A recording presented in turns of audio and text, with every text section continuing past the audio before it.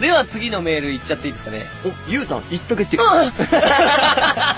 完全に俺だけ楽しんでんじゃないかな。これ大丈夫かこれ、大丈夫？リスナーに伝わってっかな？なわかんないけど。いつも不安なんだ、やっぱり。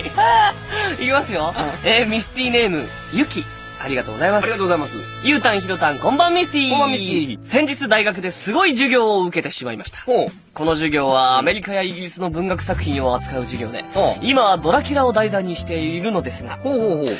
ドラキュラを扱う作品の中には、同性愛的な描写がある作品があるんです。ほ定年間近の教授がん90分かけて同性愛を熱弁 その上 BL 小説さながらの文章を壇上で読み上げるドン引きする学生 BL という文字で埋まっていく私のノート教授が後期もちゃんと大学にいるかが心配です。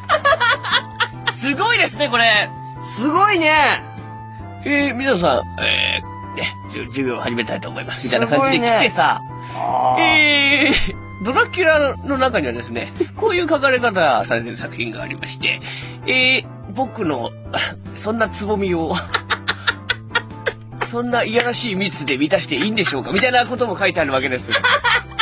あ、そこはダメです、ドラキュラさん。ちょっと、あ、気持ちいいみたいなことを教授が90分間永遠とやるということですよ。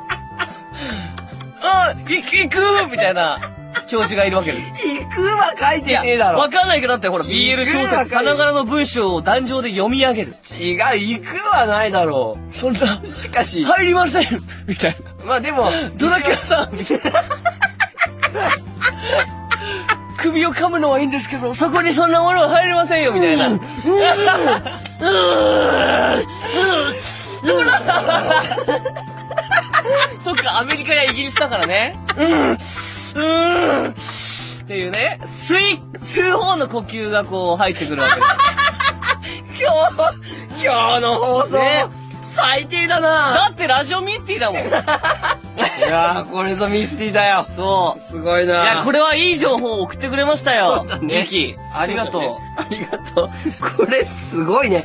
俺この授業受けたい受けたい受ね。けたい90分いけるよね。!90 分いける。そして世のミスティリスナーも90分いけんじゃねえかな。なんかこう、ゲストにこの教授呼べんかね？呼びたいね。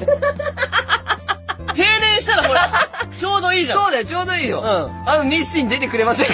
っておミ。スティすごいね、今までね、あのー、いろんなね、何人かこう声優さん呼んできましたけども、5人目ぐらいのゲストが、えー、なんとか大学の、えー、文学教授でーす。です。はい拍手。教授、そのドラキュラの授業の方なんですけども、はい、えー、ドラキュラなんですけども、あのー、結構同性愛をね、描いた作品もありまして、あ、あのこの番組ですね、本当あのその、まあ、同性愛と言いますか、あの、はい BL という作品がございまして、まあ、あの男同士のね。であすいませんでした教授、あ、もうもう、あの、そうですよね。あの、もう定年されたんですもんね。そうですよね。最近はもう、うちの女房がね、ああの、あ韓流ドラマ韓流ドラマの話はいいんで、あの何でしたっけ？まああの、とりあえずですね、はいあの、まあ、あの、その、同性愛についてのね、はいあの、ちょっと講義をしていただきたいなというところで。なるほどね。はい。同性愛はい、ね。そうですね。あのー、まあ、うちのあの飼ってる犬がですね。犬は犬いいですね隣の家の犬と、